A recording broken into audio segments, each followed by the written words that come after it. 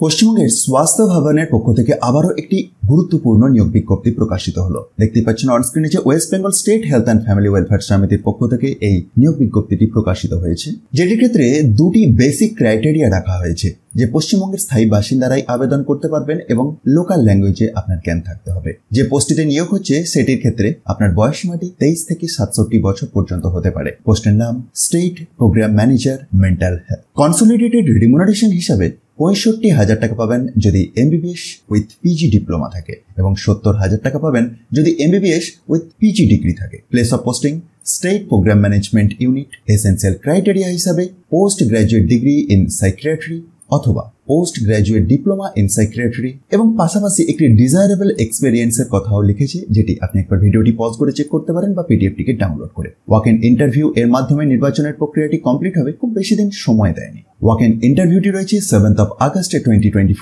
সকাল সাড়ে এগারোটা থেকে in fifth floor আরানাক meeting hall Swasthya Sathi building Swasthya Bhawan Kolkata seven triple zero nine one এই ঠিকানায়। অফিসিয়াল বিজ্ঞপ্তিটি আপনি যদি চান, নিজে থেকে ডাউনলোড করে ভেরিফাই করতে পারেন। সেটির জন্য ডেসক্রিপশন বক্সটি দেখুন, যেখানে গিয়ে টপ নিউজ বাংলার অফিসিয়াল ওয়েবসাইটের লিঙ্ক পেয়ে যাবেন। সেখান থেকে খুব সহজে এই নোটিফিকেশনটিকে ডাউনলোড করে চেক করতে পারবেন।